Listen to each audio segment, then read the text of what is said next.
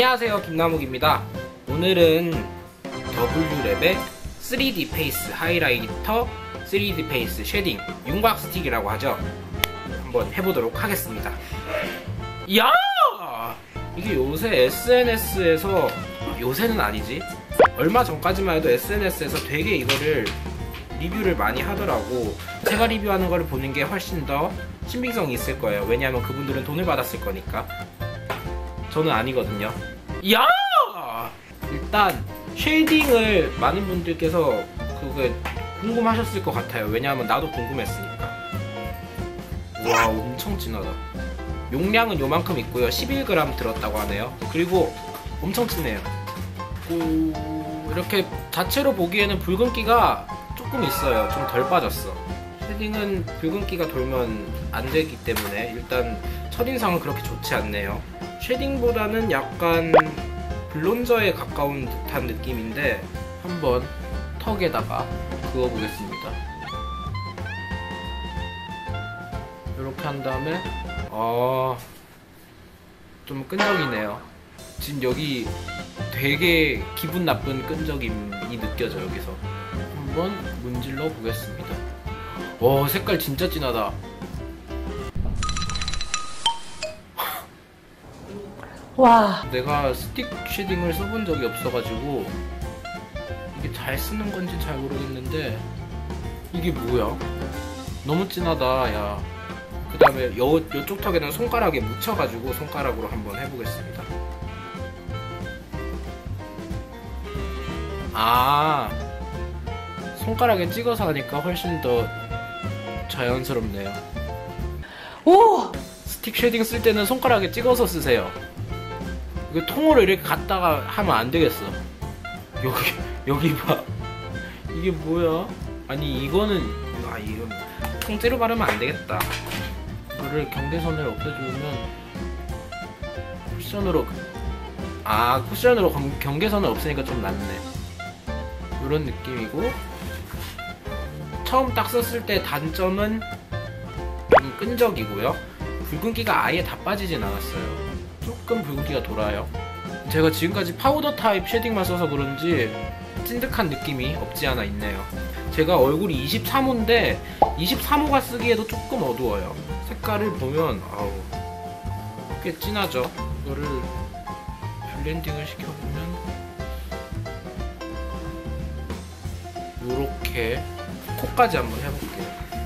스틱은 코가 어렵네. 코는 손가락에 무조건 찍어서 해야겠다.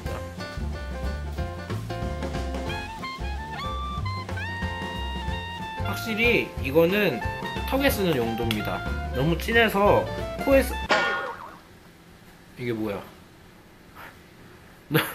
너무 진해서 코에 쓰긴 좋지 않아요. 턱에만 쓰세요, 턱에만.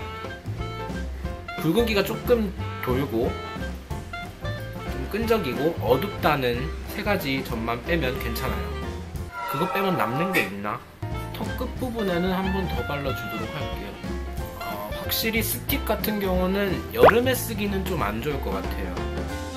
그래도 아까보단 사람 같다 쉐딩하니까. 그리고 다음 하이라이터. 제가 하이라이터는 원래 잘 안 해가지고 어우 광채가 엄청나네요. 그리고 색깔은 괜찮아. 색깔은 괜찮은데 붉은 펄이 조금 날아다녀요. 완전 쉬머리하게 나왔으면 좋았을 것 같은데 굵은 펄이 자글자글하게 조금 보여요. 제 눈에는. 제가 손등에 털이 있는데 얘가 지금 이렇게 바르니까 털이 다 죽었어. 털이 이렇게 다 붙어 있어. 끈적인다는 게 여기서 확실히 느껴지네요. 머리카락 붙을 것 같아요. 근데 바르고 나니까 약간 보송한 것 같기도 하고. 어우 그리고 이거 한번 닦으니까 여기 펄땡이 펄펄펄펄펄 날리고 있어. 역시나 아까 shading 발랐을 때처럼 손, 손가락에 찍어서 코에 한번 발라보도록 할게요.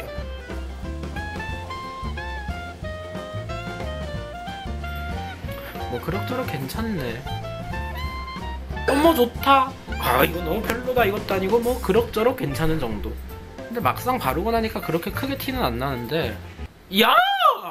shading은 아무래도 파우더 타입이 나아요. 하이라이터도 파우더 타입이 나아. 확실히 편하긴 한데 highlighter나 shading을 쓸 때는 원래 파우더 타입을 쓰면 브러쉬가 따로 있어야 돼가지고 얘는 브러쉬 없이도 쓸 수 있다는 그런 장점이 있긴 한데 W랩 윤곽 스틱의 총평은 일단 조금 끈적이고요. 둘 다 여름에 쓰기는 약간 좀 안 좋을 것 같아요. 건조할 때 쓰면 괜찮을 것 같은데 여름에 쓰기에는 약간 아쉬움이 좀 남고 리뉴얼 돼서 나올지는 모르겠지만 좀 부족한 점을 채워가지고 리뉴얼 돼서 나왔으면 좋겠어요.